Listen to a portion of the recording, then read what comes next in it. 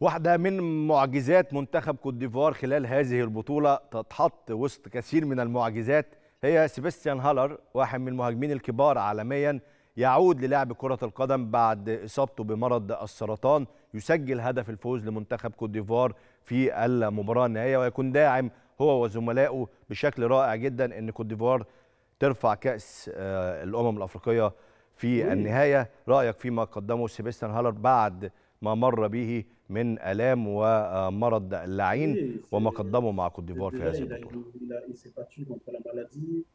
أصر هالر على المرض أولا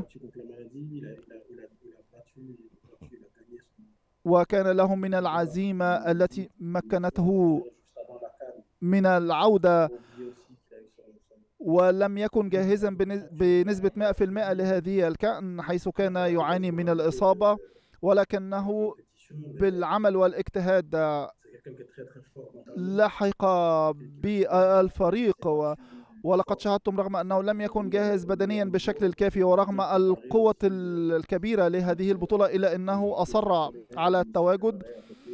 وكان ينفذ برنامجا مكثفا كي يكون مع الفريق وكي يكون جاهزا حينما نحتاجه. إصابته قبل الكان كانت قوية بالفعل ولم نكن متأكدين من تواجده.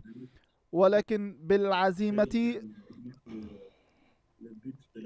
لحق بنا وسجل هدف الفوز. وكان دائما يقول أنه لديه شعور بأنه يسجل سوف يسجل هدف الفوز بالنهائية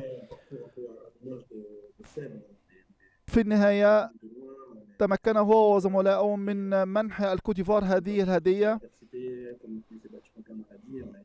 وقصته مع المرض وانتصاره على المرض وقصة الكوت ديفوار مع هذه البطولة وعودتها من الموت للفوز بهذه البطولة أعتقد أنها قصة سوف تحكيها الأجيال المقبلة لفترة طويلة.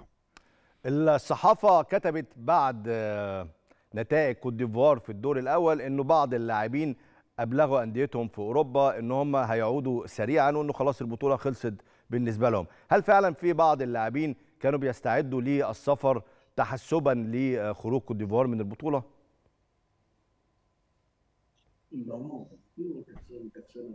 لم يحدث ذلك. لم يبدي أي لاعب الرغبة في العودة إلى ناديه بعد بعد الهزيمة من غينيا الاستوائية. الجميع كان يصلي كي تفوز المغرب على زامبيا. ولكي نتأهل لثمن النهائية. لم يفكر أحد في الرحيل عن الفريق الإيفواري اللاعبين كان لديهم إحساس بأن ما حدث في الدور الأول كان شيئا عارضا وأنهم سوف يكملون هذه البطولة. عظيم.